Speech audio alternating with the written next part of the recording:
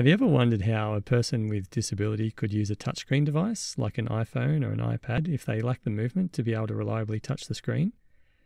Well, Switch Control is a free and included accessibility feature that Apple introduced into their iOS in 2013 with iOS version 7. And it allows a user to interact with an Apple device without needing to directly touch the screen, instead, using an external device like a Jelly Bean button, sip and puff switch, or even a wheelchair joystick as their input device. Such an external device can be connected via cable or Bluetooth and can mimic regular screen touches by controlling a movable on screen selector in a process traditionally referred to in the disability community as switch scanning. While it can be a cumbersome way to use a smart device, it does go pretty close to providing full access to all functions and features of an iPhone or an iPad. There's not much you can't do with it, in one way or another, so long as you're determined and patient. Apple's iOS includes other alternative access methods, such as voice control or just simply use of a mouse, but sometimes these aren't suitable, and switch control is still the best option. There are two main ways to use switch control.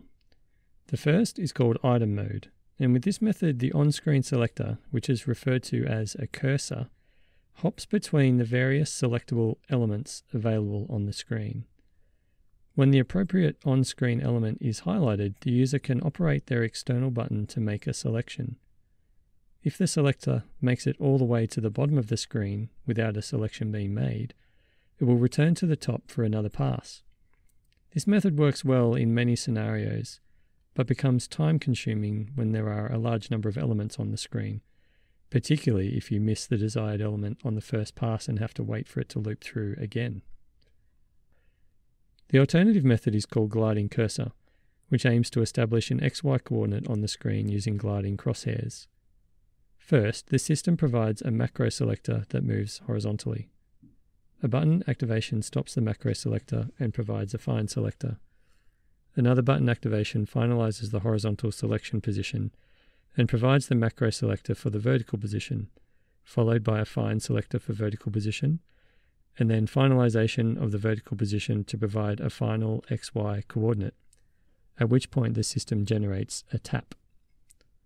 In all, this requires four to five button activations for every tap, and this laboriousness is the main downside of this method compared to item mode, which requires one to two button presses. The upside, however, is that you don't need to wait for the element to be highlighted with the cursor. You can just go straight to it.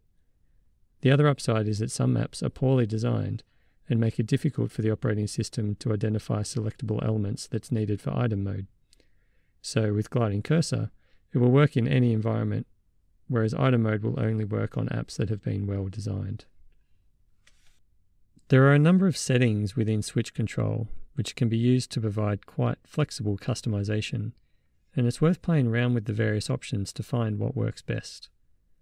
What you can see on the screen at the moment are what I think are the best settings for a first timer. This configuration provides a new user with an easy, manageable introduction to switch control, but leaves them without access to some of the more advanced actions that are available inside the scanner menu. So, once the user has grasped manual scanning, and can handle a bit more complexity, I think these settings are the next step up. With these settings, the user can now access the scanner menu, which is a context menu similar to right clicking in Windows. With the configuration I've now set, I can access the scanner menu by doing a long press whenever the cursor is moving. So you can see here some of the actions that are available, like scrolling, pressing the home button, performing gestures, switching between item mode and gliding cursor mode, and plenty of others. This menu is affected by context, so you can see that when I'm in a context where scrolling is relevant, I have access to the scroll item. But if I go home, now scrolling disappears from the menu. Some actions are buried a bit behind other menu items, so sometimes it can take some digging to find the action that you want. You can see here that the lock screen action is accessed by going to Device in the root menu. Another useful feature built into switch control is called recipes. I won't go into how these are set up, but this feature allows the user to temporarily change what happens when they press their input button. Whereas a particular button might usually be assigned to select, by activating a recipe, that button could be reassigned to, say, a screen swipe. This could be a really useful way to use a reading app, for example, as the button could be used to trigger a page turn. So that's it. There's a lot more to switch control than what I've covered here, but this was just meant as a quick overview of what switch control is and what it can do. And big ups to Apple for implementing such powerful accessibility tools in their operating system.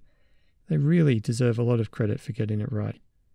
If you enjoyed this video, give it a like, as that will tell YouTube's algorithms that it was a good video and that other people should see it too. And by all means, leave a comment down below.